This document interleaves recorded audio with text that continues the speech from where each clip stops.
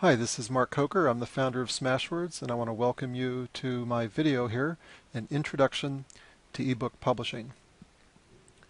In this video, I'm going to teach you how to produce, publish, and distribute and sell an ebook. I'm also going to cover the five trends that I think will transform the future of authorship and what these trends mean to you. Um, this video is intended for any writer anywhere in the world who is considering self-publishing an ebook. Um, it's also intended for traditionally published authors who are considering self-publishing.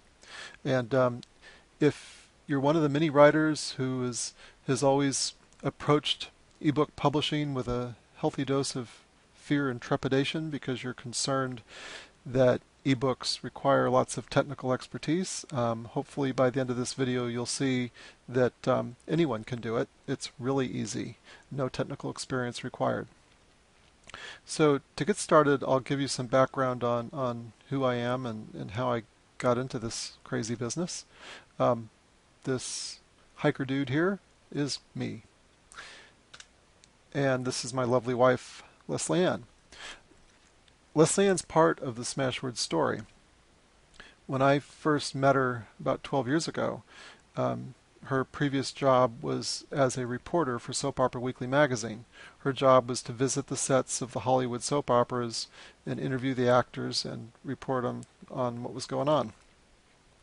Um, when I first met her, she was telling me these crazy stories about what went on behind the scenes and how the actors were more crazy behind the camera than they were in front of the camera.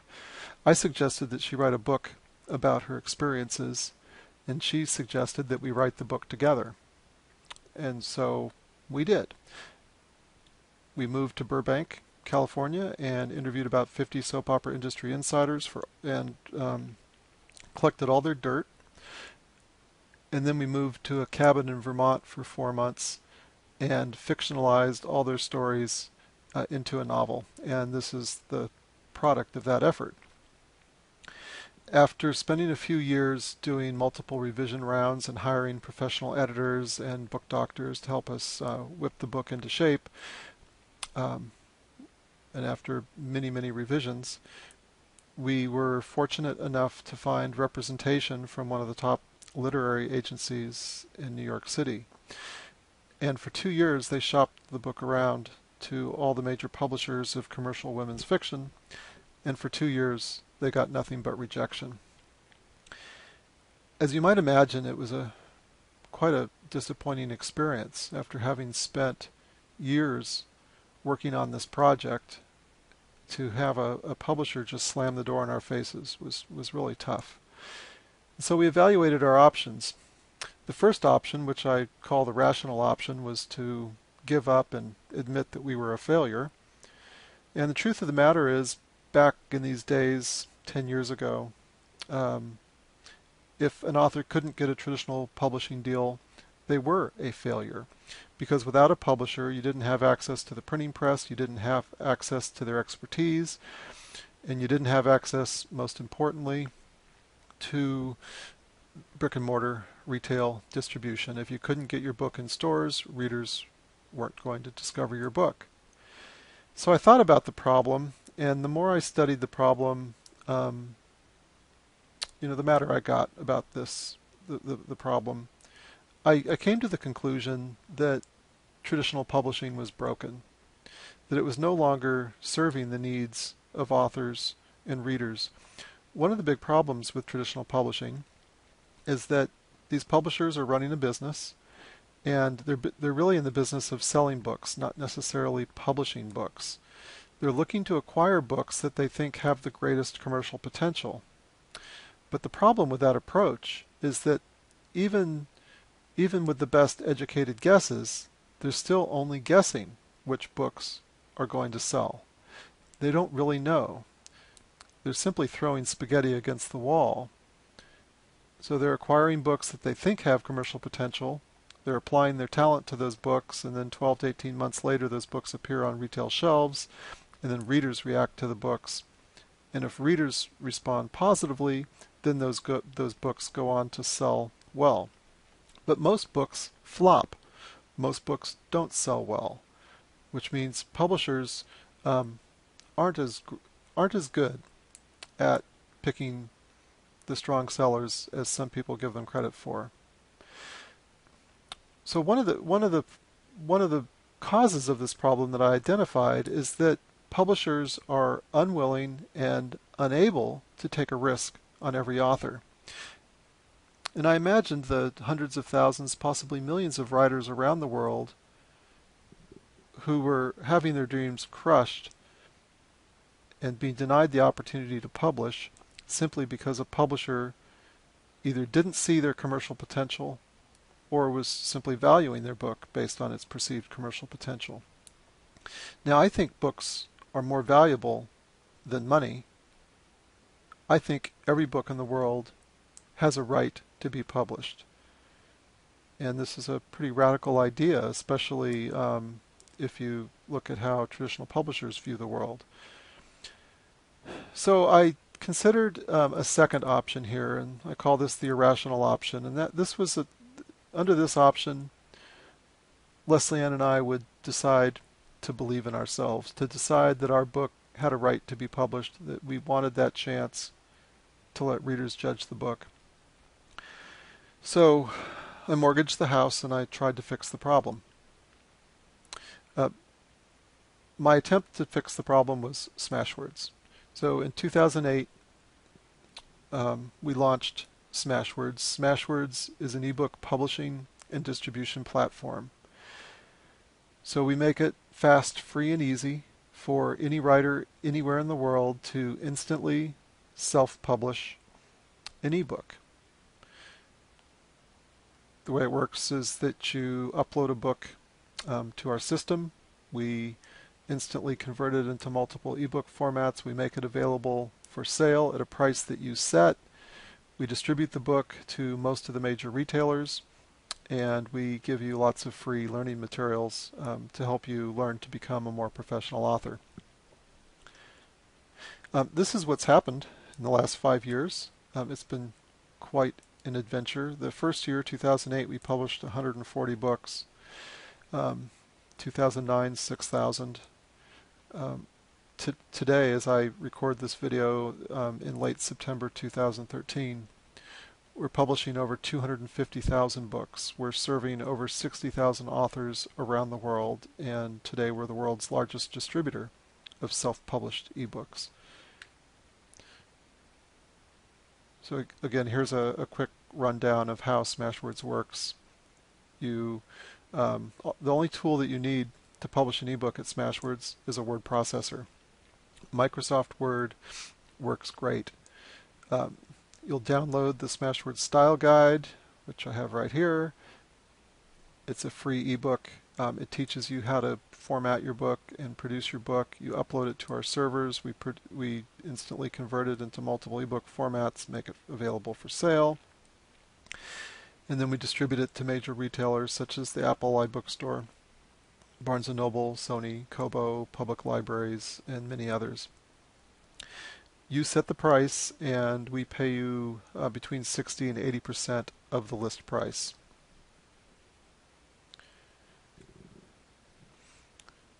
So now let's um, let's talk about five trends that that I think will transform the future of authorship, that will change the world of publishing and change the world to your favor.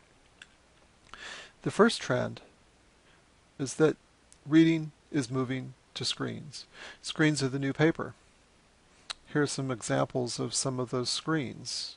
You've got the iPad, a Kindle, um, a Nook, iPhone, there's a Sony reader. Um, even the lowly personal computer is a popular e-reading device. Um, here's some data on um, how the ebook market has grown over the last few years here in the United States. Back in around 2005 when I first started working on the Smashwords business plan, ebooks accounted for about one quarter of 1% of the overall trade book market here in the US. Um, 2008 when we launched, ebooks accounted for about 1% of the overall market. Now 2008 was a really important year. Around that time, Amazon launched with the Kindle store. And with Amazon's marketing heft and market presence, they really helped accelerate the development of the ebook market in the United States. And so what you see here is just a rapid increase in market share for ebooks. We went from 1% to 3% to about 8% to 20%. And then in 2012, I would estimate that ebooks as a percentage of the overall book market represented about 30% of the market. Now this is based on, on overall dollar sales. One of the interesting things about this data, when you look at this chart here, is that it actually underestimates what's happening in the marketplace. Um, because ebooks are priced um, dramatically lower than print books, when we look at this market share increase, it's underestimating the number of books that are actually being read. And to, so that's what brings me to the next slide here. Um, what I've created here is, is um, you know, I call it an irresponsibly simplified macro representation of the future. So in this chart, um, I'm modeling the overall direction of the trend. Um, it's it's less important to know where we're at in the trend than to know the direction that we're headed. And so here we are today. When we look at um, ebook market share, with ebooks around 30%, print books around 70%, it underestimates the unit share. If we were to measure the number of words being read on screens, the number of ebooks read on screens, the unit share is probably approaching 50%. I think if we're not there already, probably within the next 12 months, more words will be read through ebooks than read on paper. Now this is a profound trend. And as an author, you want to position yourself for the future. And so you want to follow the eyeballs. This is where the eyeballs are going. Follow the unit numbers um, and position yourself there by making sure that um, all of your books and all of your words are available in the ebook format. At some point down the line, both unit share and dollar share, share for ebooks will exceed 50% of the overall uh, book market here in the US. So why are ebooks so hot? Well, the primary reason is that for many readers, um, reading on a screen is preferable to reading on paper.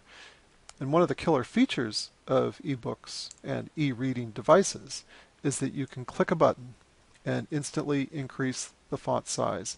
This makes reading more enjoyable, more comfortable, and more accessible to more readers than ever before. It's a great feature, even for those of us that have 20/20 vision. It, it it's great reading with larger larger words. Now the other thing that's driving the market is consumer behavior. Um, there are really three primary motivators that drive consumer behavior for any product, and it's certainly true with books. Um, as book buyers, as consumers, um, we're attracted to things that offer us um, a lower price, greater convenience, and greater selection. Um, you might call it the Walmart effect. This is what this is how Walmart put Main Street America out of business by offering lower costs, greater convenience, and greater selection. This is how Barnes & Noble and Borders put many independent booksellers out of business here in the United States. And it's how Amazon is now pressuring um, you know, all the major booksellers, including independent booksellers, and um, by offering lower prices, greater convenience, and greater selection. Obviously, Borders is no longer around today. They succumbed to um, market pressures. So th- remember these these consumer drivers. The second big trend is the democratization of publishing. Back in the dark ages of publishing, prior to five years ago, publishers controlled the printing press, they controlled the distribution to retailers, and they possessed all the knowledge necessary to publish a book professionally. And I, I see these three things as the essential legs to the tool. If you have the printing press, if you have the distribution, and if you have the knowledge necessary to professionally publish, if you if you know the best practices of professional publishing, then you can become a successful publisher. And in the past, you didn't have access to this unless you were selected by one of these big publishers. But the world has changed. Today, authors have complete access to all of these tools, and these tools are free. So now the, the printing press is available in the cloud. This is what we do at Smashwords. You can upload your book to us, and we convert it into multiple ebook formats. Um, the distribution of ebooks is democratized. Um, starting back in 2009, um, Smashwords was the first to help open up distribution to retailers that previously were unable to take self-published ebooks. So today, every major retailer, ebook retailer in the world wants to carry self-published ebooks. They don't care what the name of the publisher on the virtual spine is. Um, they care more about getting your books, and your re- and the readers care more about the author than the publisher. So um, distribution is now democratized. Um, another thing that's available now is the knowledge of professional publishing best practices. All of the knowledge necessary to become a professional publisher is now available to you for free. It's at your fingertips. You only need to make the effort to go find it. And it's one of the things that we do at Smashwords um, with some of the books I've written. I'll talk about those later. So publishers are losing their monopoly. Writers no longer need a publisher to publish, distribute, and sell their books. You know, in the dark ages of publishing, writers were forced to bow subservient to publishers. Writers looked to the publishers to um, grant them the title of author. And Today, that's no longer necessary. You have all the tools to become your own publisher. So writers are starting to ask two very dangerous questions. Now, dangerous if you're sitting in the shoes, standing in the shoes of a publisher. The first question is, what can a publisher do for me that I can't already do for myself? You can now produce, publish, distribute, and market your book on your own. You don't need a publisher. The second question, which is potentially even more dangerous, is that many writers are starting to realize that if they self-publish an ebook, they have competitive advantages over publishers. Authors are starting to realize that by self-publishing a book, they can do a better job of reaching readers than a publisher can. And on the flip side of that, they're starting to recognize that a publisher might actually harm their ability to reach readers because publishers tend to price the products too high. And there are many other reasons too that we'll talk about here. The third trend, self-published authors are hitting all the bestseller lists. If you go to any major ebook retailer today and look at their top 10 best-selling ebooks, you will see self-published ebooks on that list. Nearly every week, if you go to the New York Times bestseller list for ebooks, you will now see self-published books on that list. Now, a year ago, that was almost unheard of. It was rare to see a self-published author in the New York Times list. Now it's becoming common. We're starting to see um, all of the major ebook retailers um, increasing their merchandising focus on self-published ebooks. Um, Apple um, and their with their iBooks store um, has been a real leader in this regard. Apple um, recognizes that self-published authors are writing excellent books, books that please Apple customers, and books that are priced dramatically lower than traditionally published books. This means Apple's able to offer a product that's value priced, that pleases the author, that's affordable to more customers, that helps them sell more books and satisfy and please more customers. That's all retailers care about is satisfying their customers and self-published authors with their books are doing that in a way that traditional publishers can't. So I'd like to make a prediction. I think within three years, most New York Times best-selling ebooks will be from self-published authors. So you can check back with me in three years and tell me if I was correct or not. There's a decent chance that I'm being too conservative. And it will probably happen faster than this. So let's talk about some of the advantages of, of indie authorship. And I'll, I'll point out that um, you'll, you'll hear me use the term self-published author and indie author. Indie means independent. Um, both terms are interchangeable. Indie author equals self-published author. So these are the advantages of indie ebook authorship. You have faster time to market. You can enjoy faster time to market with your book. If your manuscript is completed today, you can upload it today. You can upload it to Smashwords today, and your book will be for sale literally within five minutes and available for sale to a worldwide market. As an indie author, you enjoy total creative control. Let's say you wrote a book about paranormal blood, blood sucking vampire bunny rabbits. And you take it to a publisher, and the publisher says, you know, we really like your book, but we already have three books on the fall schedule featuring paranormal blood sucking vampire bunny rabbits. This happens all the time.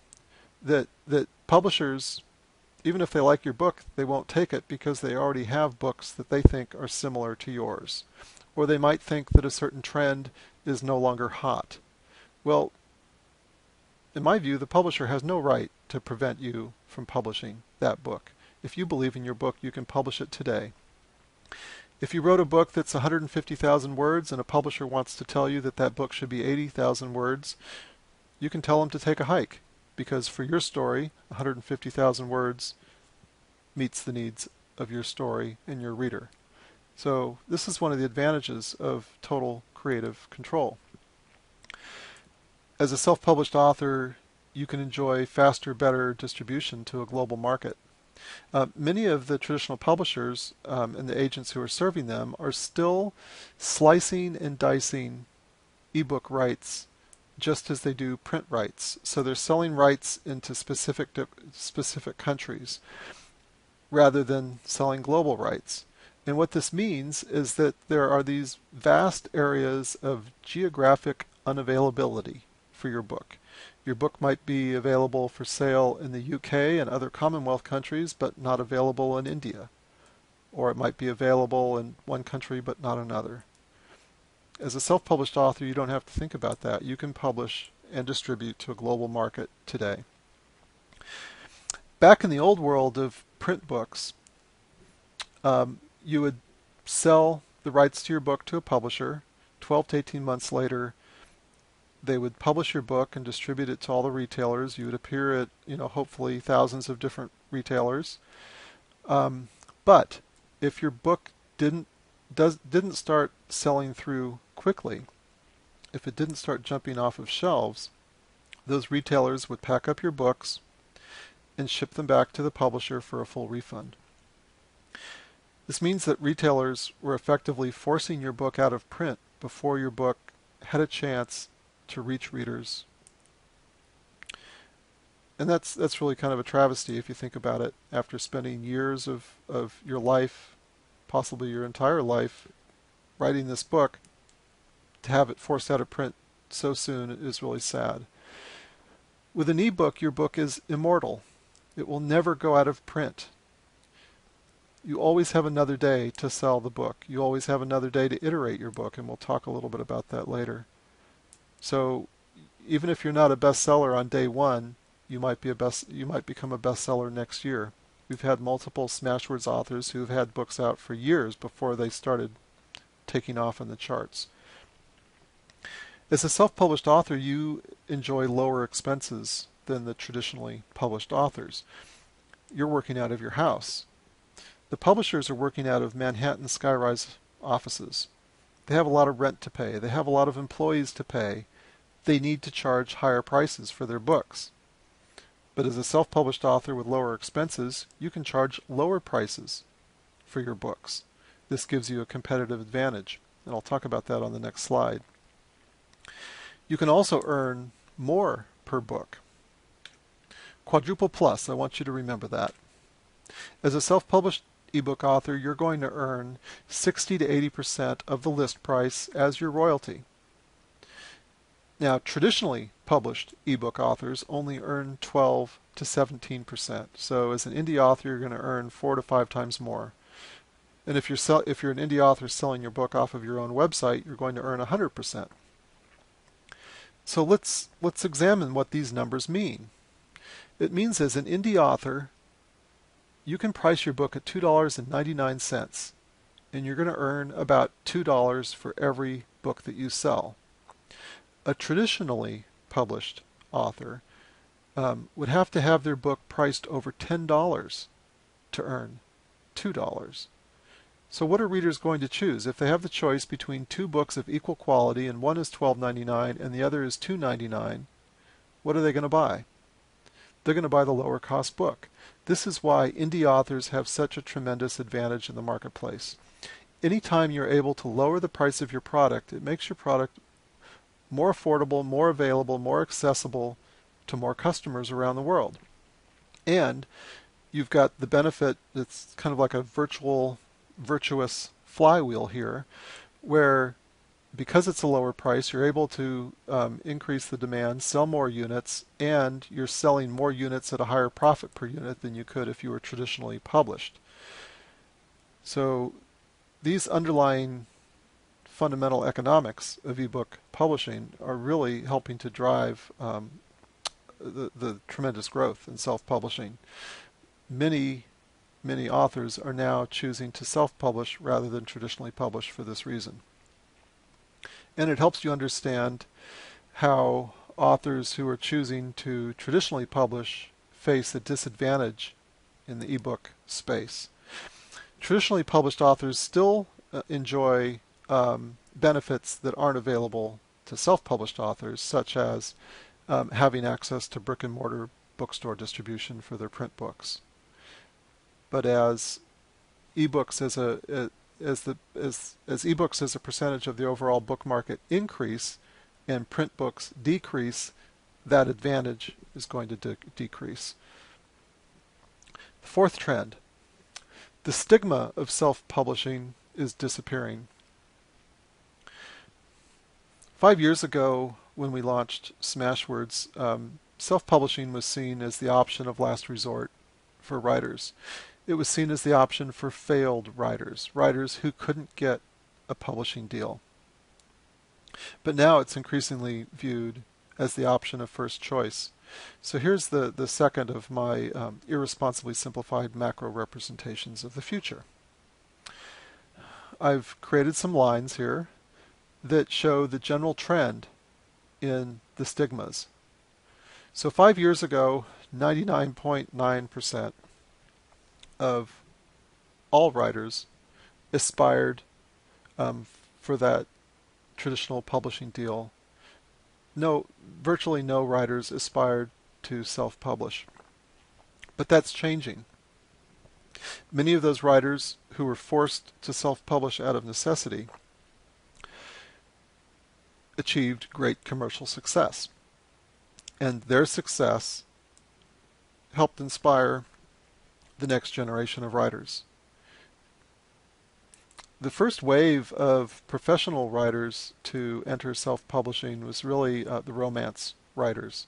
So back in 2008, 2009 at Smashwords, we saw a wave of romance titles coming from traditionally published romance authors who had written a lot of books, and those books were now out of print.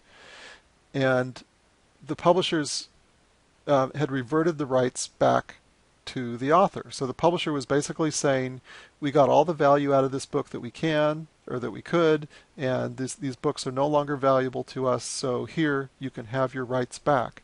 And so these romance authors were bringing their books back to life as self-published ebooks. And what they started discovering is that they started earning more money with their low-priced self-published ebooks than they had earned during their entire publishing contract with the traditional publishers. So this set the example for writers in all the other genres. Um, so I, you know, I give a lot of credit to the romance authors for helping to pioneer um, a lot of this in the early days. So today we're probably along here on my chart. Um, I think most writers still aspire to traditionally publish, but a decreasing number and an increasing number are aspiring to self-publish. We're seeing seeing an increasing number of writers who no longer bother shopping their book around to agents and publishers. They're publishing directly to their readers using Smashwords and Amazon and other platforms to to um, reach their readers faster. I think in the next few years we're going to see the stigmas flip because at the same time that the stigma of self-published self-publishing is disappearing, the stigma of traditional publishing is increasing. So probably within three years, maybe four years, more writers will aspire to self-publish than will aspire to traditionally publish. I've already heard stories of professional writers, traditionally published writers, sitting around a table where you've got a mix of traditional authors and self-published authors and authors who've done both. And a writer raises their hand and says, I just got a publishing deal with New York. And the other writers around the table say, oh, I'm so sorry. This conversation has happened. Um, I heard that story from one of the world's best-selling self-published ebook authors. And I think we're going to see that story repeated over and over again. I've spoken with so many Smashwords writers who tell me that they're never going to publish with New York again. Or if they publish with New York again, um, the publishers are going to have to throw a lot of money at them.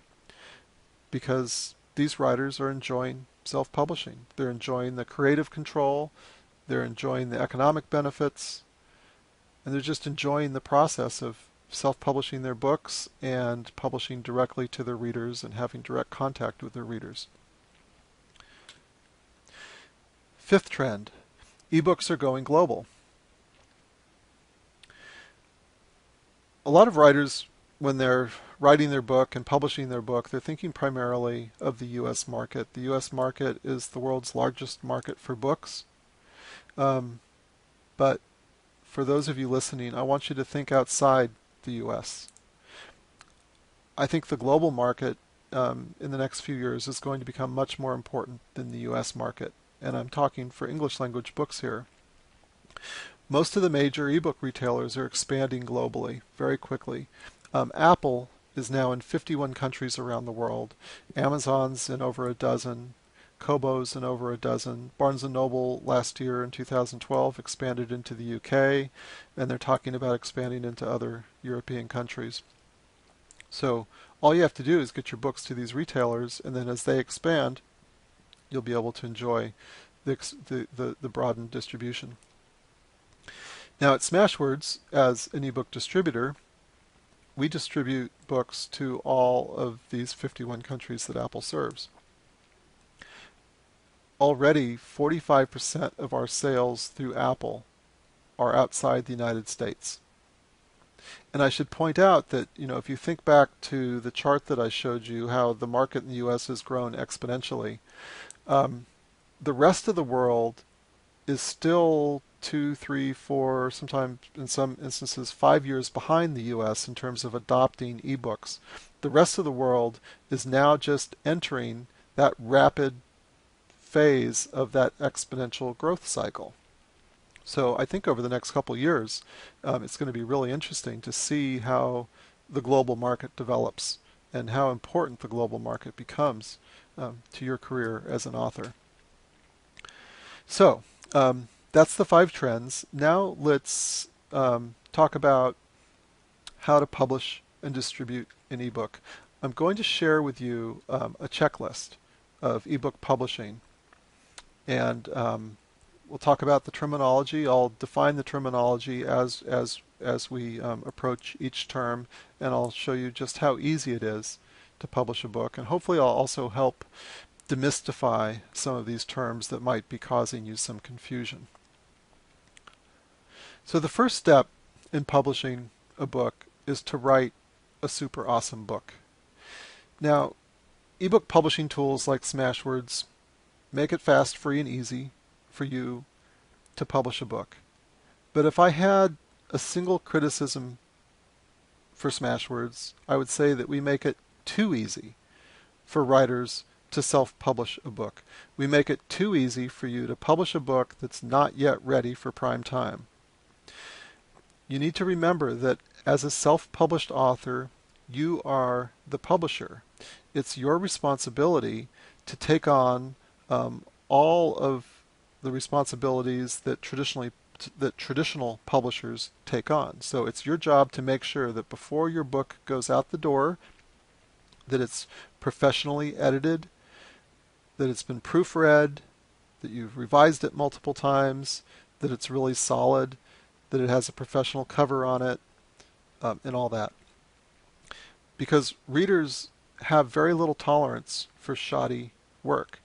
If you fail to serve the readers, then your book is not going to get read. And I want you to be successful. I want you to be as successful as you can be. Um, and you can be successful if you approach this with professionalism. So, um, you know, borrow borrow some pages from traditional publishers and identify what they do really well and then do it yourself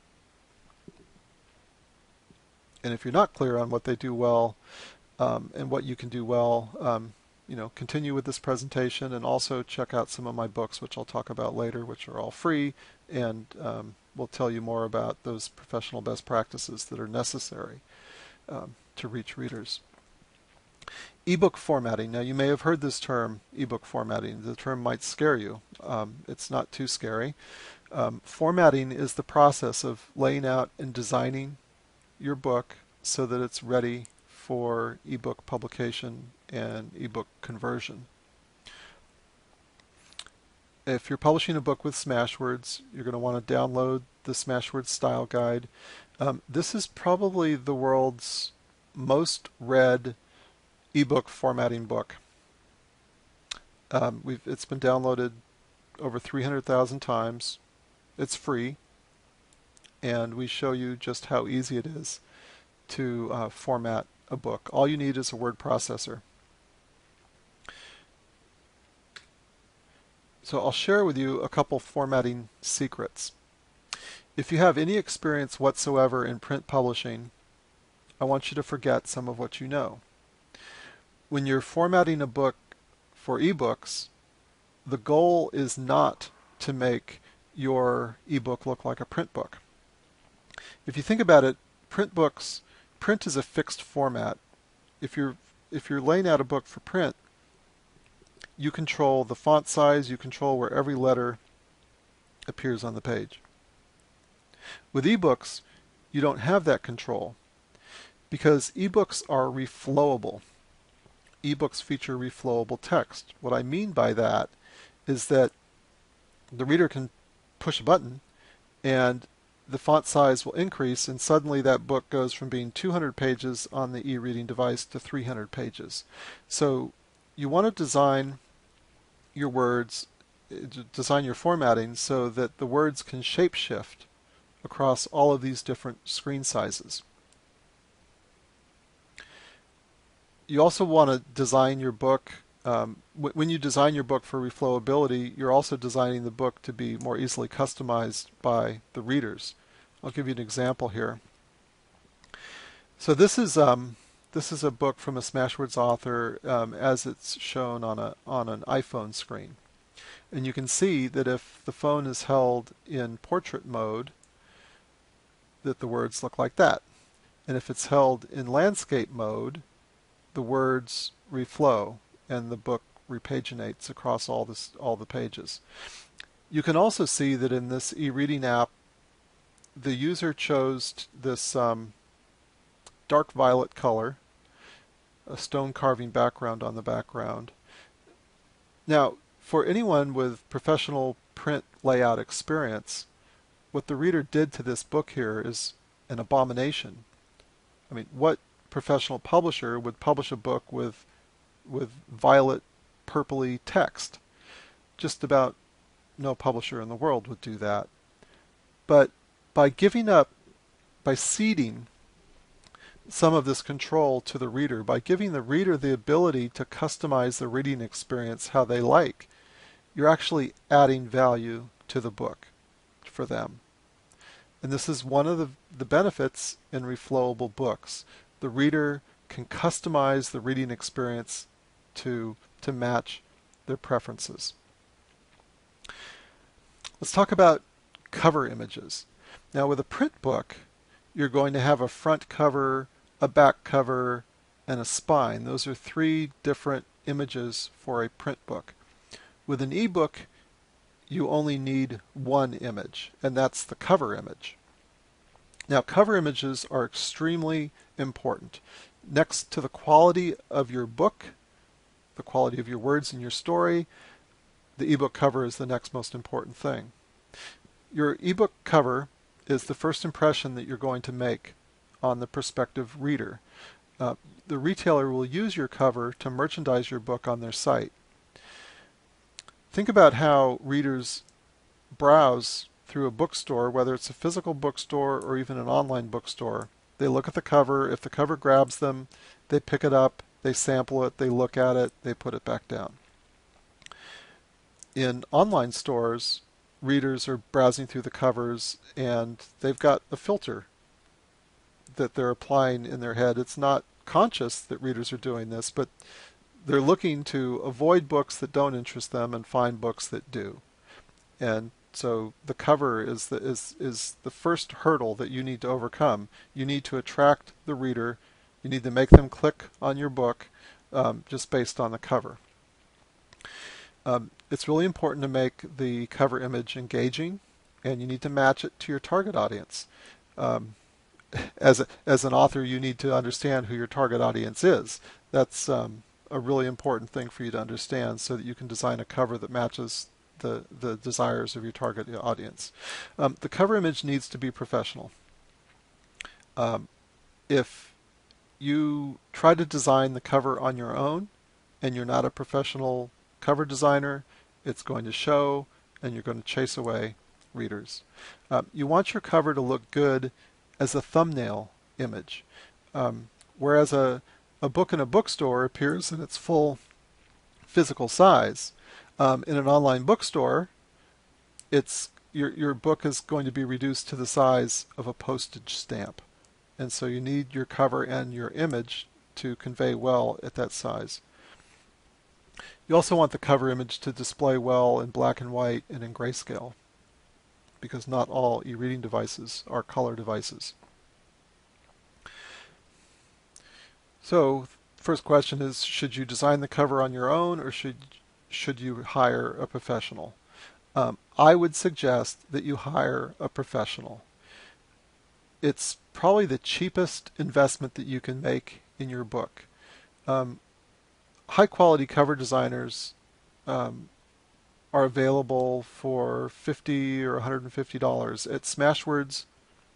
We maintain a list. It's called Mark's List. Um, you can send an email to list at smashwords.com and you'll receive an email via instant autoresponder with a list of low cost cover designers. So like I, as I mentioned, most of them are between 50 and 150 dollars and they all have online portfolios. And if you don't like their work, there are many, many other cover designers out there on the web, and most of them are priced under $300, and even $300, in my opinion, is ridiculously cheap um, if you can get a cover that, that looks really great. You want your cover to look as good or better than what the big New York publishers are putting out.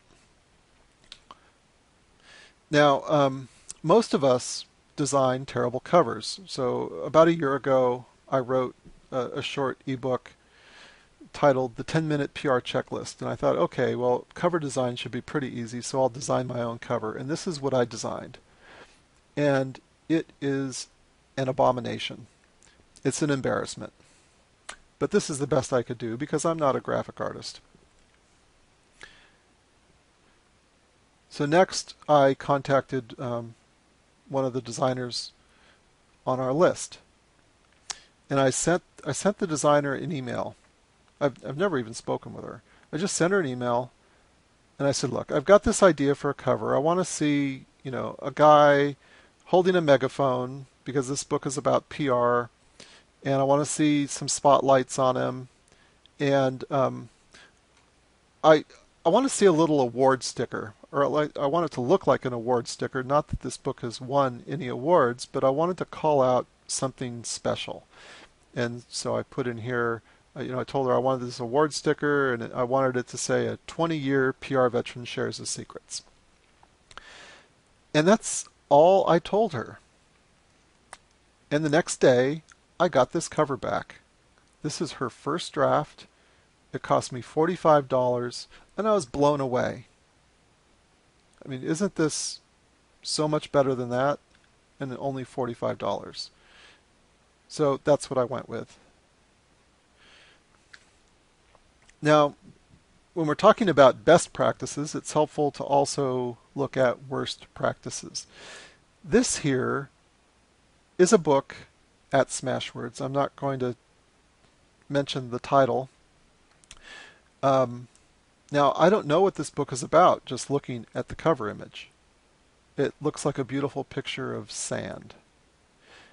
How is the reader going to determine if this book is for them? Unless maybe they've got a desire for sand or a book about sand, um, this book is not going to appeal to them. Now, the book is not about sand.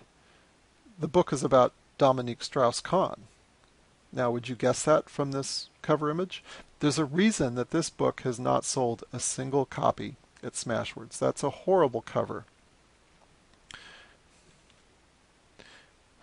Covers, good covers make a promise. This, I, I like this cover image, and it's a pretty simple cover image but just simply looking at the image, you can ignore the title and the author name. You look at the image, you know what you're going to get from this book. You're going to get love, intimacy, passion. This is a romance book. So a good cover makes makes a, makes an emotional promise to the reader. Put yourself in the reader's shoes. The reader is looking for their next read.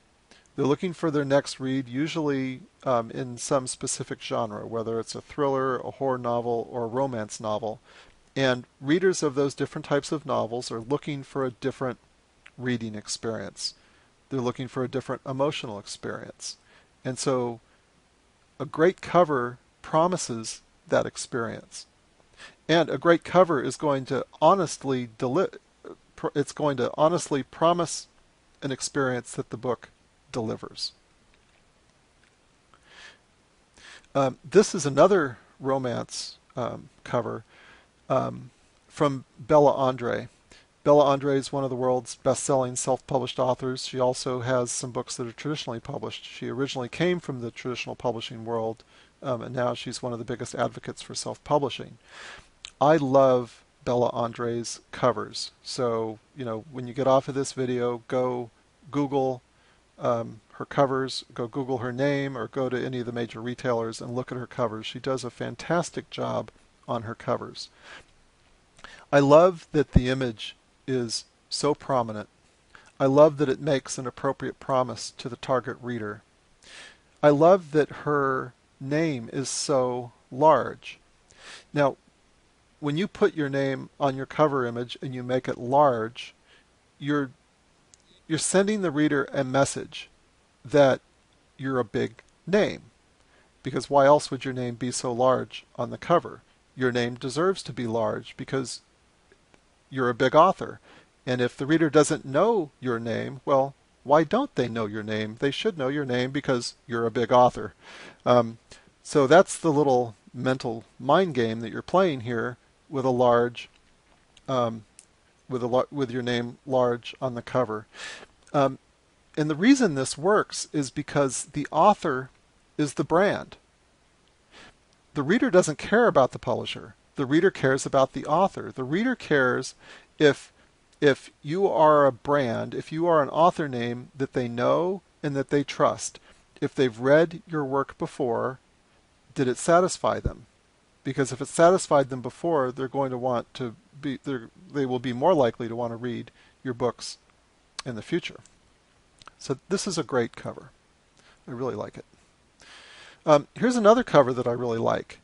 Um, this this book is by Jack Kilborn. It's a pen name for Joe Konrath, another um, you know outspoken advocate for um, self-publishing and someone who comes from both worlds. He's been traditionally published and now he's self-published. Um, this is a horror novel, and you could strip away the title and the author name and simply look at the image. If you are a horror fan and you're looking to be scared that's a scary image. I mean, it looks like it's got this misty blood coming out of his mouth and fangs, and he's angry. And I just look at that and I'm scared. If I'm looking to be scared, this is the book for me. So this, I, that's why I really like this image, because it makes that promise to me if I'm looking for that type of book. Okay, so now I'm going to um, share a case study of um, of a, an author at Smashwords. This is R.L. Mathewson. She is an awesome author. She writes great books. She gets five star reviews on her books. She's got a huge fan following. Um, and what we're looking at here is a very early cover that she introduced early in her self publishing career. And um, as you can see, it's a pretty simple cover, and a lot of authors will do this. They'll just simply type the text of their book on a blank colored image. Um, it's obviously not a very good cover. Um, it doesn't tell the reader that this is a romance book. It doesn't convey a promise. So one of the neat things about ebooks is that, you know, I talked earlier about how your book is immortal. Well, with an ebook, a self-published ebook, you can change your book over time. You can evolve it over time. So RL realized that this was not a good cover, and so she upgraded the cover. And when you're working with a distributor like Smashwords, if you want to upgrade your cover, you just upload a new cover image, and then we transfer, we send that cover out um, to all the bookstores that we're serving. So it's really easy to update your cover or, or update anything about your book. So this is the second version of the cover that she did. Now, you can see that it's certainly a lot better than the previous version, but it's still not making the appropriate promise. And um, RL realized that. She realized that on her own and um, upgraded the cover again to this. Now, this cover makes a promise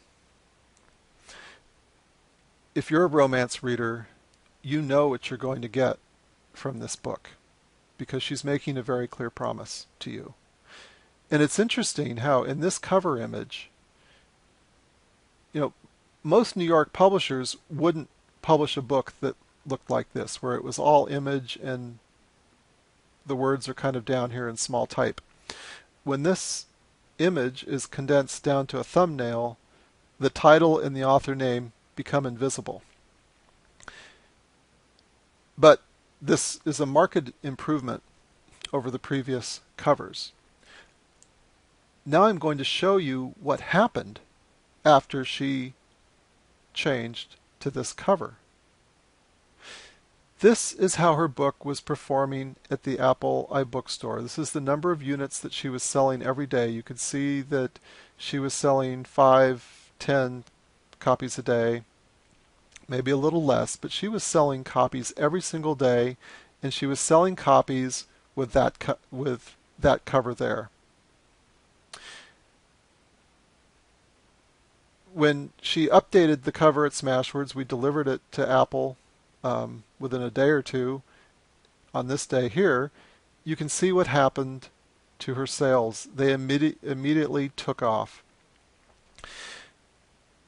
I noticed this. Um, I noted uh, about this point on the on the spike.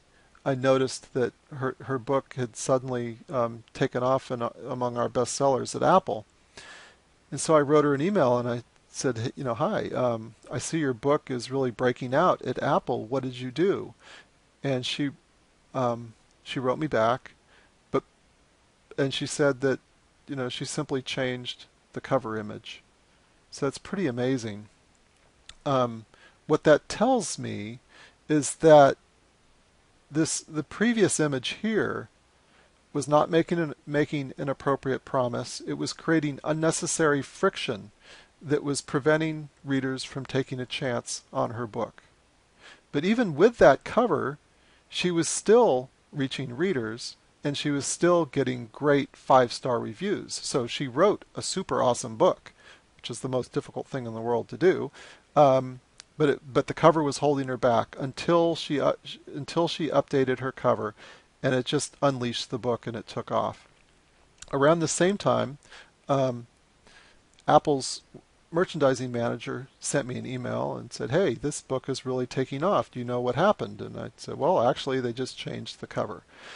Um, so you see the, it spiked here and then it dropped. This is pretty normal um, for a book. So at about this point, she was probably, you know, in the top 10 bestsellers in the romance genre. But then the book started picking up steam again. This is all organic growth. This is all driven by reader word of mouth. And this only happens if you've written a super great book that's getting great reviews and generating reader word of mouth. This is readers finishing the book and telling their friends to go out and buy it. So Apple was so sufficiently impressed with how this book was performing that they decided to promote it on the site. And that caused it to go um, up into the top five bestsellers. So for a couple days, she was selling over 2,000 copies a day. Um, and this sales spike happened not just at Apple, but all the other retailers. And it landed her on the New York Times bestseller list for a book that had been on the market for months. It just simply needed a new cover. So I love this example of what R.L. Mathewson did and how a new cover helped helped the book realize its full potential. And um, I know that R.L. now is working on doing another revision of the covers to make them even more professional. Um, so it, she's she's a great role model um, and you know there are many, many, many other self-published authors who are following the same journey of constantly improving their books, tweaking things until they get the formula right. So let's talk about a term called metadata. You may have heard this term. You may not know what the term means. Um, let's explain what it is. So metadata is information about your book. Metadata enables discovery. It, it makes it possible for readers to discover your books. Um, some of the meta, some of the metadata you're going to create, and some is automatically generated by the retailers. So let's look at some examples of metadata.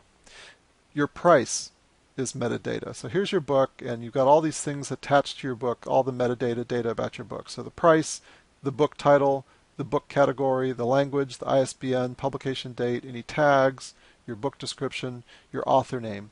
So all of these things are metadata. When you publish your book at Smashwords, on that upload page, we're going to ask you your price, your book title, your author name, all of this information. Um, we're going to capture this metadata. We're going to share this metadata with the retailers, and the retailers are going to use this metadata to make your book discoverable to readers. The book category, for example, will tell the reader what virtual shelf to place your book in.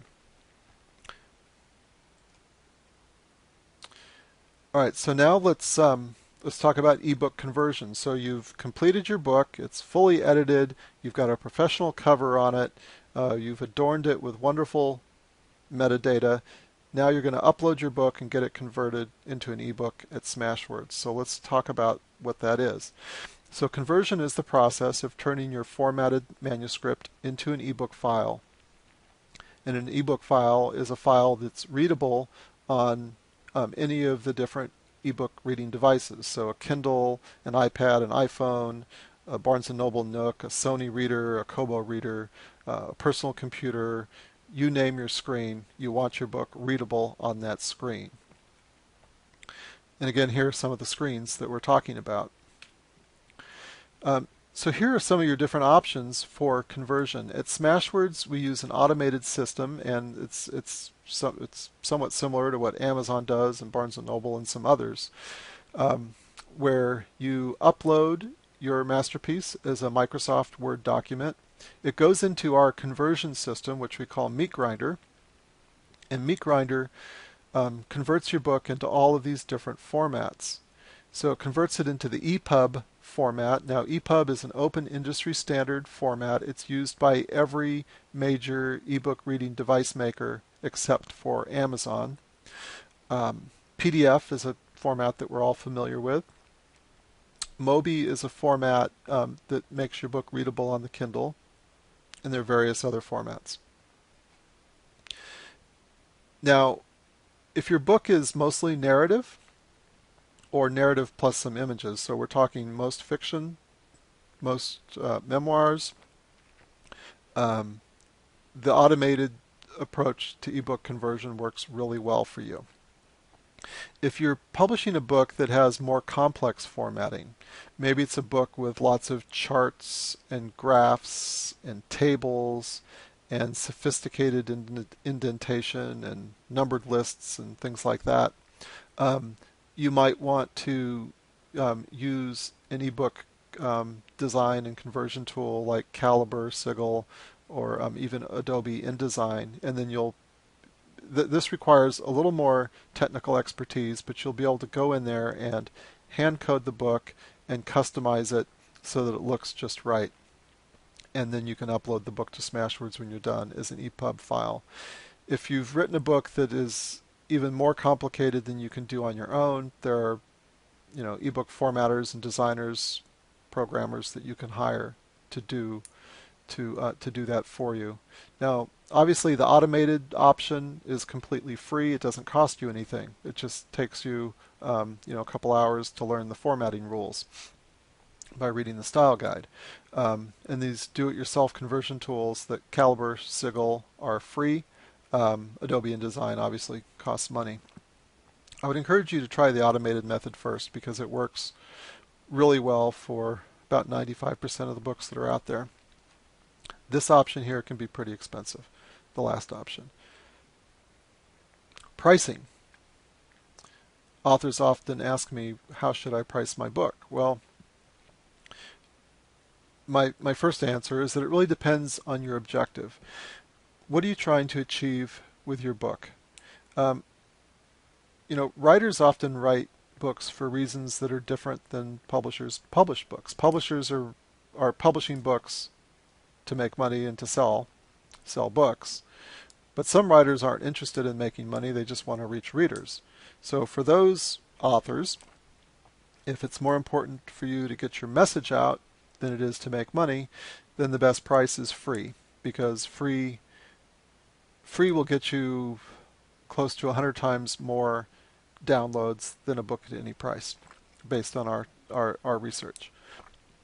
But most authors don't fall into that camp. Most authors want to reach a lot of readers, but they also want to earn some well-deserved money from all their hard work. So if you're pricing, if you're publishing multiple books, and I encourage you to pu- publish multiple books because the more books you publish, the more you're going to sell. Um, use multiple price points. So make sure your books are covering multiple price points because there are different different groups of readers that that flock to certain prices. There are some readers who will only download free books if they don't know who you are. If they don't yet know and trust your author brand, then they'll only take a chance on you if your book is free. That describes some segment of the audience. And if they like your book, then they'll go on and purchase your books that have a price. So it's not that the the the, the people who are looking for freebies are looking to freeload, but they just require that your book is free before they take a chance and pay money on your other books. Um, some readers are looking for books at 99 cents, some at these other price points. There are some readers who refuse to buy books that are priced under 3.99 or 2.99 or 4.99 or 5.99 or whatever. There's a segment. This, I've spoken with some of these readers, and I've spoken with a lot of authors who've experienced these readers. Um, there is a segment of customers out there who will not buy cheap books because they are assuming that if the book is priced too low, that it's not a quality book. So that's really interesting. Um, it says that readers value their time more than they value their money. I've heard multiple instances where an author raised the price of their book from $2.99 to $3.99 and they sold more copies. Now, this is not a universal truth. It doesn't apply to the entire reading public. Uh, you should really imagine readers being as diverse as humanity is diverse. So readers are going to fall into different camps of what they're interested in, which is why you should try to touch multiple price points with your books. Uh, if you write nonfiction, um, nonfiction generally can support a higher price than fiction you know, for fiction, the the best price points are usually two ninety nine, three ninety nine, four ninety nine, or free. Um, for nonfiction, you can go a little bit higher, and the reason you can go a little bit higher is that with nonfiction, readers are typically looking for knowledge or for information that will help them solve a problem or help them um, create something or do something, and that something has value to the reader. And as long as the perceived value, the perceived benefit of your knowledge that you're going to share with them exceeds the price of your book, then it's a no-brainer for the reader to pay a higher price. We had an author a couple years ago who uploaded some books priced at $75. Now, when I first saw these books, I thought, okay, this guy's crazy. No one's going to pay $75 for a digital file that costs nothing to reproduce. I mean, there's no paper, there's no binding, there's no glue, there's no oil to transport that book around to bookstores. Um, yet this guy earned thousands of dollars within a couple months. And the reason was that he was writing high value content. He had a, a, a nationally recognized platform. Um, it, he was offering investment advice and stock picks. And for someone, you know, for investors who, you know, routinely invest tens of thousands, hundreds of thousands of dollars into the stock market, paying $75 for a great stock pick is not a high price to pay. So um, you, you can do that if you're if you're publishing high value content. All right, now let's talk about ISBNs. Um, there's a lot of a lot of misinformation and misunderstanding out there about ISBNs, so I'll I'll try to demystify them for you. So let's talk about first what is an ISBN.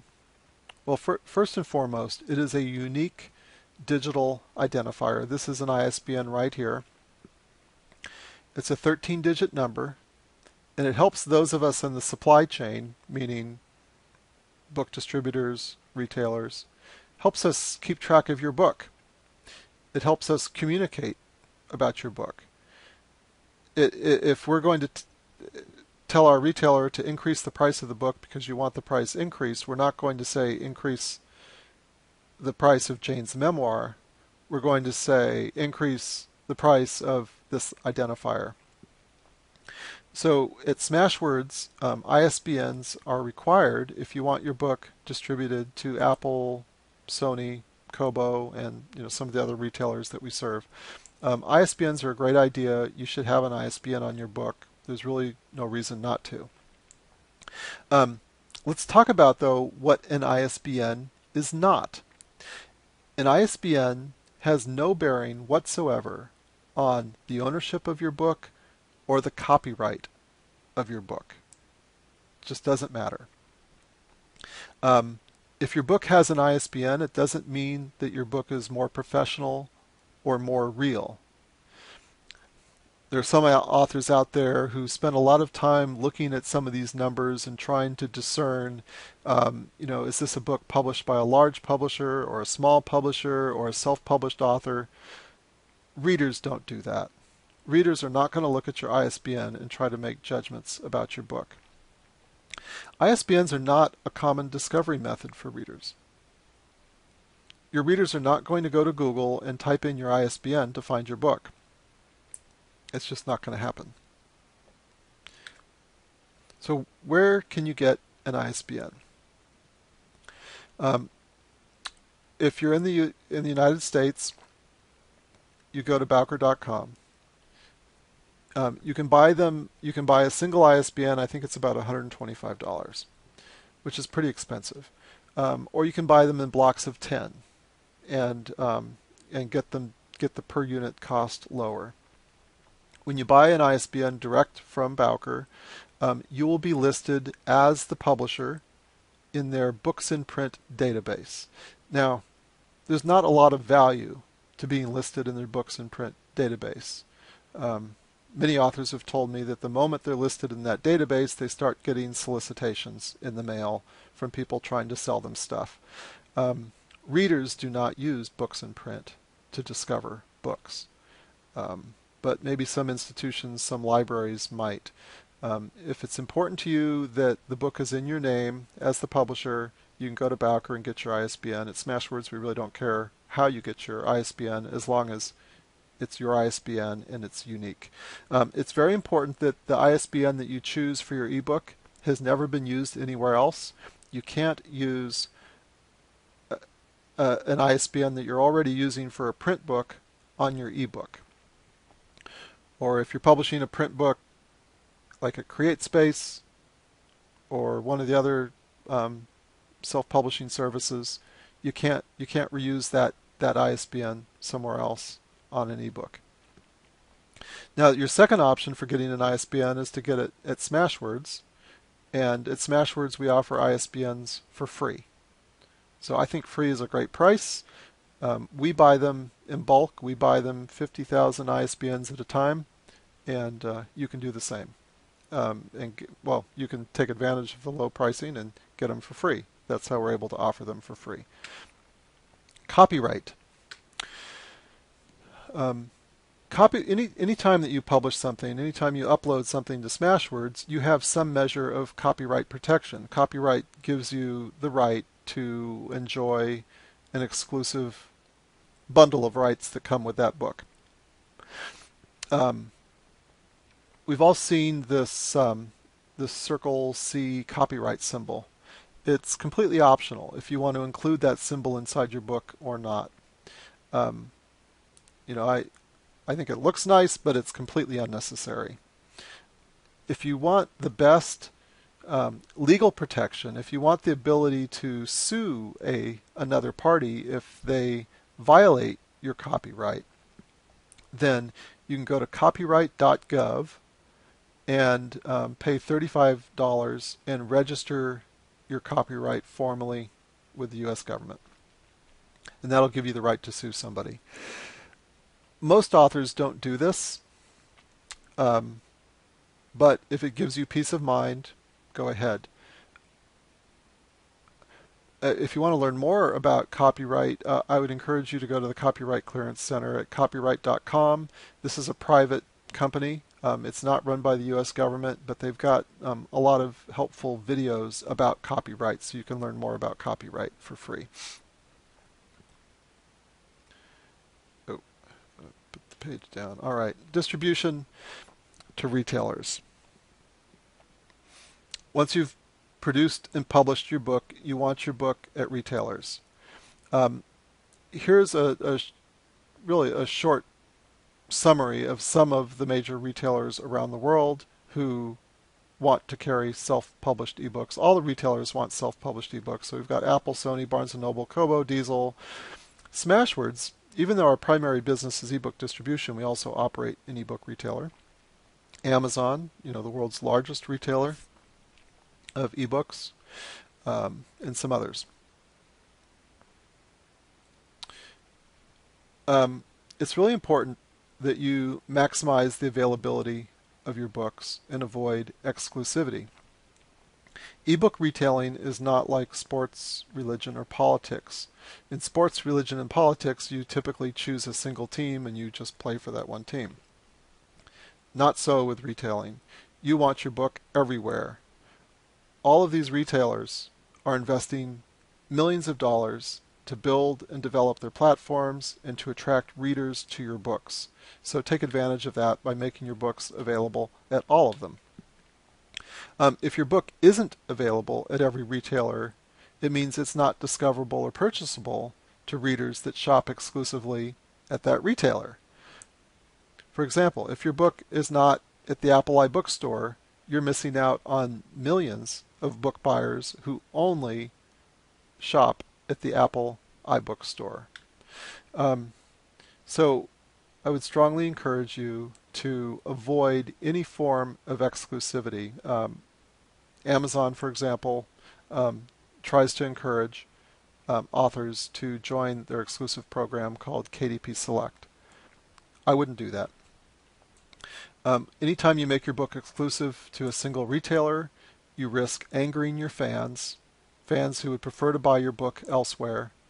Um, you limit your audience because a lot of book discovery is serendipitous and by accident. If you are not at every retailer, then fewer readers are going to stumble across your books. Also, if you make your books exclusive to any single retailer, whether it's Amazon or Apple or Barnes & Noble or anyone, um, you're increasing your dependence upon that single retailer.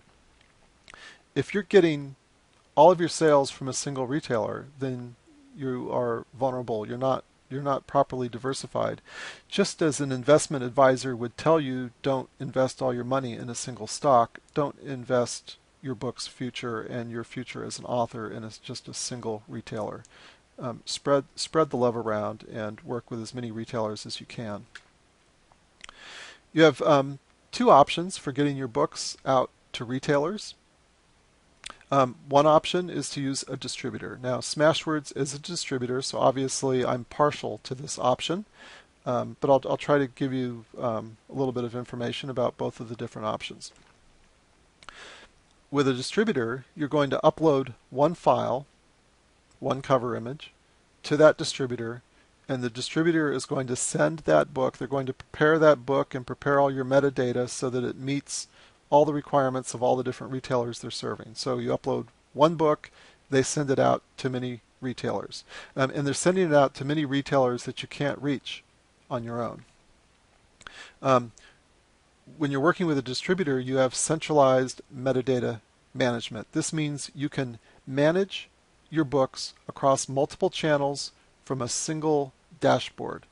So for example, at Smashwords, from the Smashwords dashboard. If you want to change the price of your book, you change it once at Smashwords, and then we broadcast that change out to all the retailers that we serve.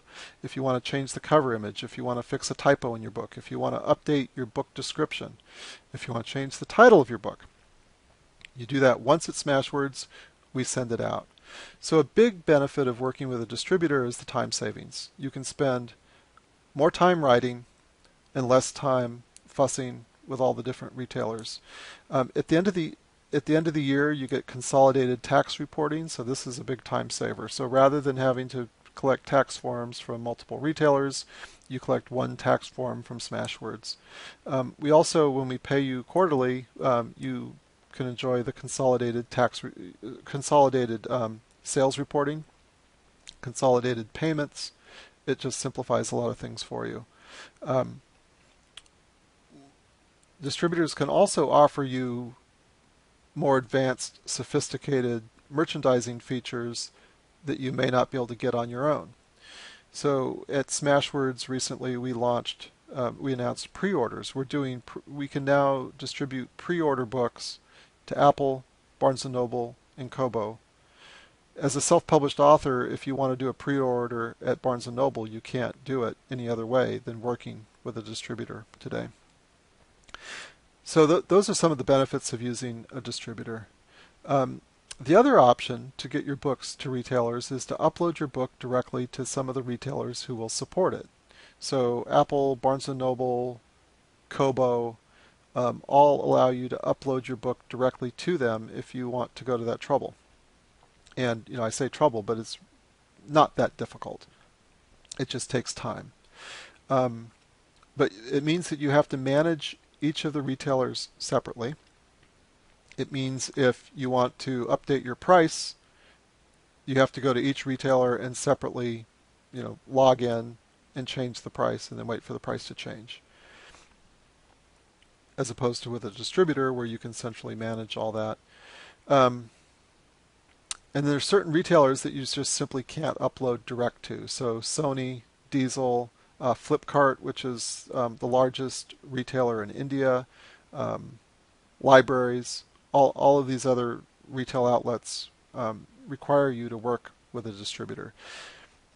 Um, now, there's there's really a third option that I didn't list here, and that's to use a distributor and go direct to some retailers. So if you would prefer to upload direct to Amazon, you can do that, and then you can use Smashwords to distribute to the other major retailers.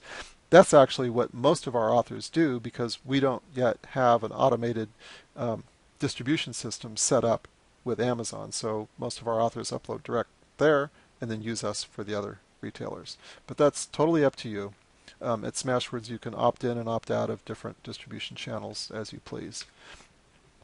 Piracy piracy is a fun one. I know a lot of writers, when they're first entering um, ebook publishing, are concerned about piracy. They're concerned that someone's going to make illegal copies of their books and that their books are going to be read uh, without being paid for. So let's talk about piracy.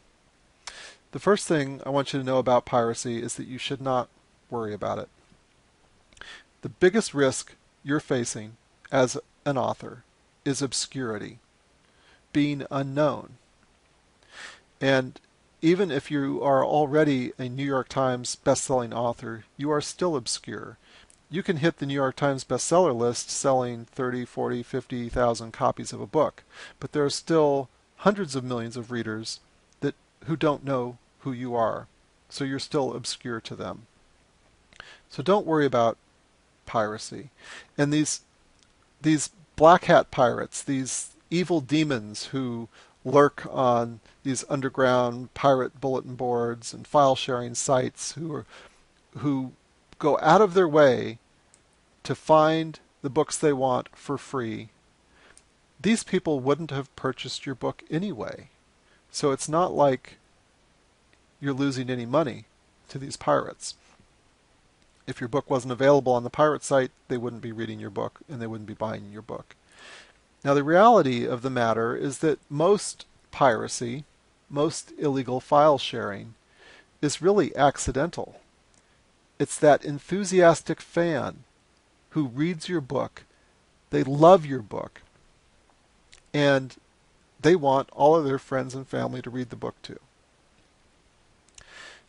Now, this is going to happen. You can't prevent it from happening. It already happens in the print world. You go to a bookstore, you buy a print book, you love it, you pass it on to someone. So this happens in the ebook world, even though it's not legal, even though, you know, at Smashwords we um, strongly encourage customers not to share these books. Um, it will happen. But if it does happen, I want you to see it as the lowest cost form of marketing that you'll ever experience and the most effective form of marketing. So don't worry about that. now, the only reliable method of preventing piracy is to never publish your book. You know, when, when J.K. Rowling's um, Harry Potter series came out in print, you know, for many years it was only available in print. Um, every time the, a new edition came out, within hours, it was pirated and available online as an ebook. So you just you can't prevent it.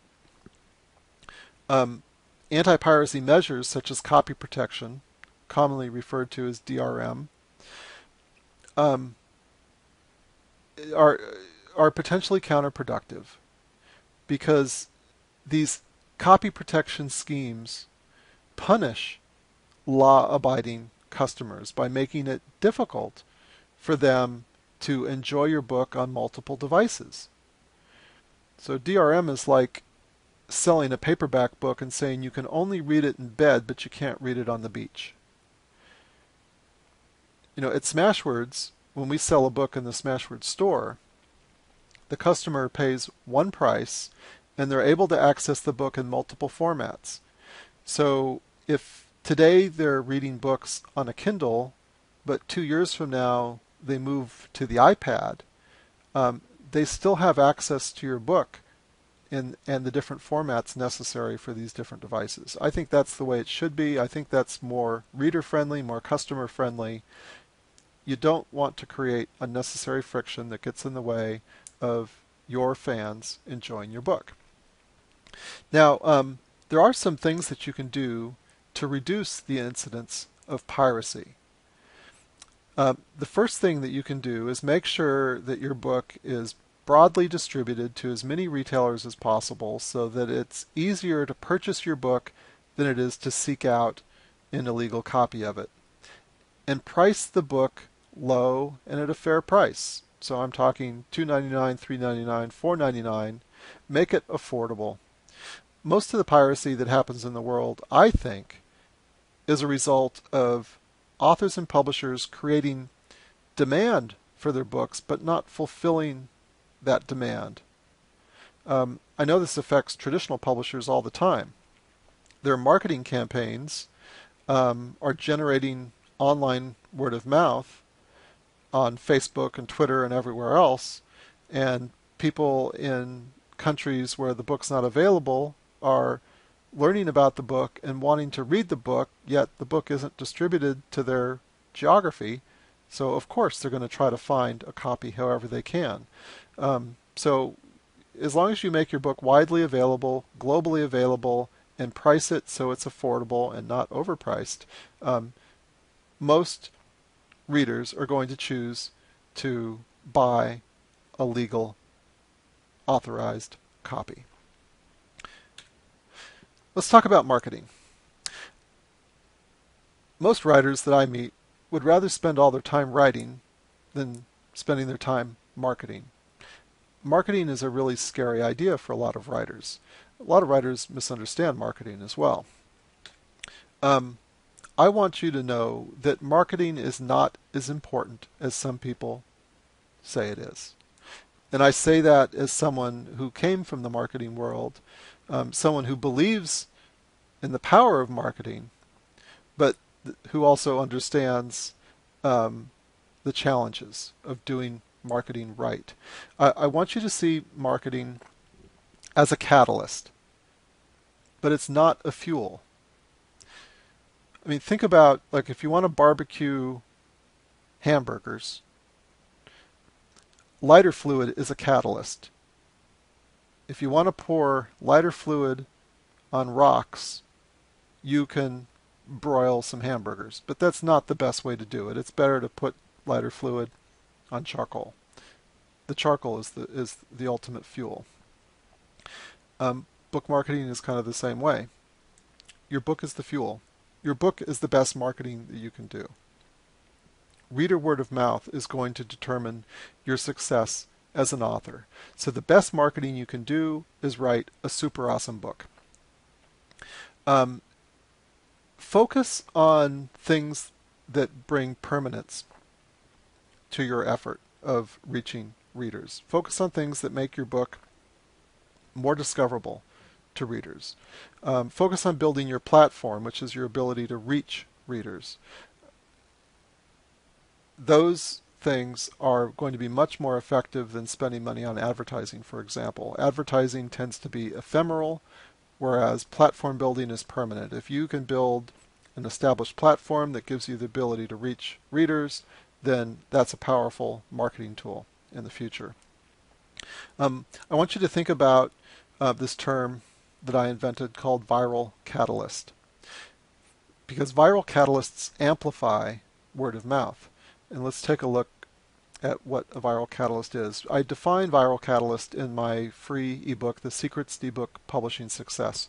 And I'd encourage you to go download the book today at the tremendous price of free. Um, the, in the Secrets to Ebook Publishing Success, I identify about 30 best practices of the most commercially successful ebook authors. And these are all best practices that you can emulate today. Um, many of these best practices um, are the best practices of the large traditional publishers. But um, you'll also find that some of the best practices that we identify are best practices that have been pioneered by self-published authors just over the last couple years. So definitely check out this book. Um, the book talks about this this concept of viral catalyst. So a viral catalyst is anything that makes your book more available, more accessible, more desirable, and more enjoyable to readers. I want you to imagine your book as this amorphous blob, and attached to your book are um, dozens of dials, levers, and knobs that you can twist, turn, and tweak to make your book more available, more accessible, more desirable, more enjoyable to readers. If you can get the formula just right, your book can go viral. And when a book goes viral, uh, that's another way of saying uh, the book is generating word of mouth. You want to generate super fans. So you don't want someone to read your book and just say, oh, you know, it was pretty good. You want someone to read your book and go, wow. Wow. Because wow books get five star reviews. Wow books motivate, motivate readers to not only um, recommend your book to their friends, but to command their friends to read your book and to read your book now. And we've all experienced wow books and word of mouth recommendations from our friends who told us, you've got to read this book now. And those are the books that we generally read. So let's talk about what some of the um, examples of, of, of viral catalysts are. If you get if you if you get the viral catalyst just right, then your book is more accessible to the readers. They're more likely to take a chance on the book. So many of these viral many of the viral catalysts we've already discussed here in this presentation. So the cover image when R.L. Mathewson upgraded her cover image, it reduced that unnecessary friction that was preventing readers from taking a chance on her book. And then when they took a chance on her book, they loved her book because she's a great writer and she writes wow books. Um, broad distribution. If your book isn't available everywhere, you're going to reach fewer readers. Um, you want a fair price. If you price your book too high, you're creating unnecessary friction that will prevent some readers from taking a chance on your book. Um, good categorization. Categorization, as I mentioned earlier, helps the retailer determine what virtual shelf to place your book. Um, professional editing. If you can afford professional editing, you should get your book professionally edited because edited books are going to do better than books that haven't been edited. So those are some of the some of the examples, and you can see the rest here. Um, any place anytime that you make a mistake on any of these different viral catalysts, anytime that you do it wrong, you're creating friction that can um, diminish your your um, your opportunity. So think of all these things as dials, knobs, and levers that you can twist, turn, and tweak.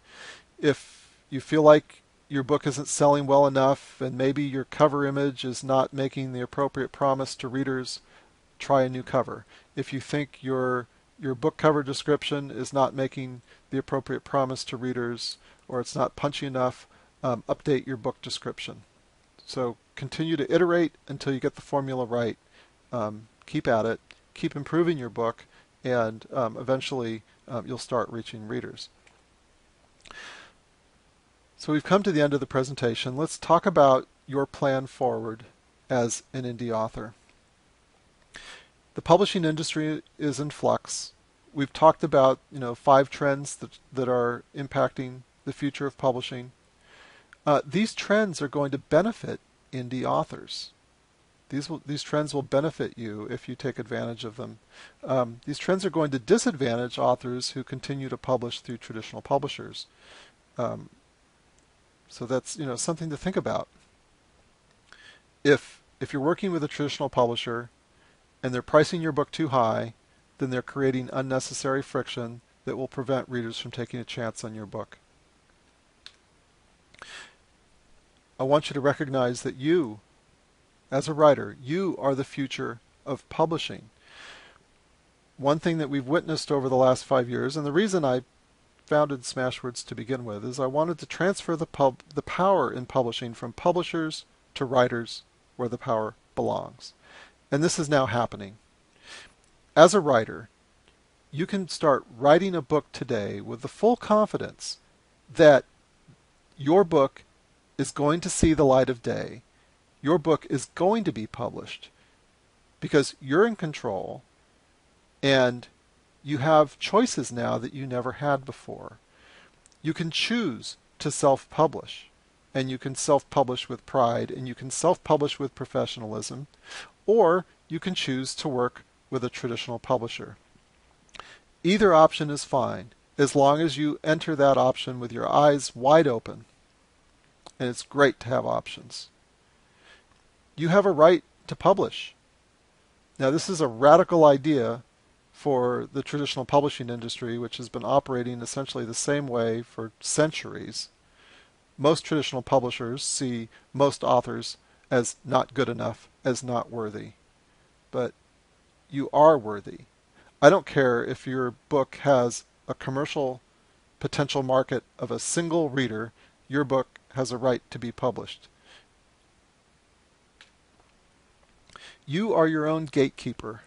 So, as a self published writer, you are the one who will decide when your manuscript graduates to become a published book. No one else can make that decision but you now. So I want you to honor your readers. I want you to write a super fabulous book and I want you to publish it faster and with lower prices and better covers than the traditional publishers.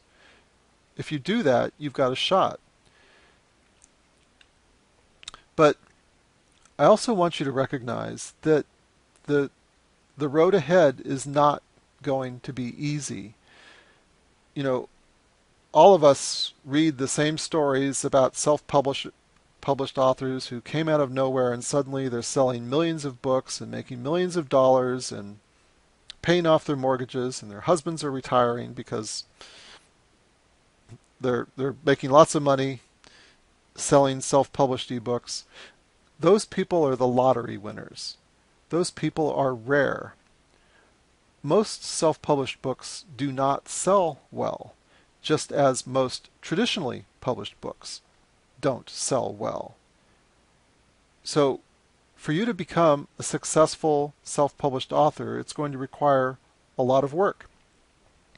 You are going to have to write books that bring your readers to emotionally satisfying extremes. I don't care if you're writing romance, thrillers, or a, nonfiction cookbook you need to thrill your reader. You need to write a wow book. That book needs to be better than what New York is putting out.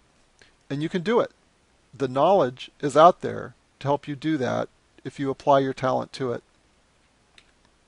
So your opportunity to reach readers has never been greater than it is today. I think this is the best time in history to be a writer.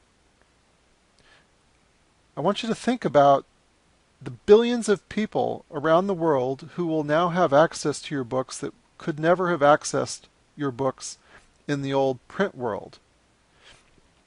In Africa, India, China, smartphones are becoming the standard phones.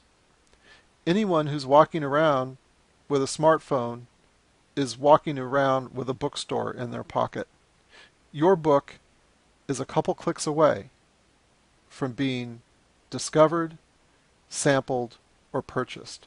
And because it's an ebook, you can offer these readers the opportunity to read your book at a dramatically lower price than they could with print. So you have a global market that you can reach today. And this market will only get larger over time. So um, these are the three books that I've written, and I would encourage you to go download them all and read them all today um, if you haven't read them already. The first one I wrote is the Style Guide. Teaches you how to format and publish an ebook with Smashwords. Uh, the second book I wrote is the Smashwords Book Marketing Guide. I give you 41 ideas on how to market and promote your book and how to build your author platform. And all of these ideas are free. They don't cost you anything to take advantage of these ideas. Um, just your your time and your effort. And then the most recent book is The Secrets to Ebook Publishing Success with the Best Practices. Excuse me. So that's it. That's the end of the presentation. So I hope you enjoyed this video. Um, I enjoyed sharing this with you. And um, please look out for other Smashwords videos, more tutorials coming soon. Um, this is the first video I produced um, of, of a presentation. Over the last five years, I've given dozens of presentations at writers' conferences, and I usually upload those presentations to a service called SlideShare, where you'll find lots of lots of my presentations, but those are static presentations. So this is the first time I've put together a presentation um, where you have my audio as well. And so hopefully um, you found this beneficial. If you've enjoyed the video, um, please tell a friend. That would be the biggest compliment you can give me is just share it with a friend. I'm really interested here to help as many writers around the world recognize um, how they can professionally publish an ebook and achieve their dreams as a writer. Thanks for listening.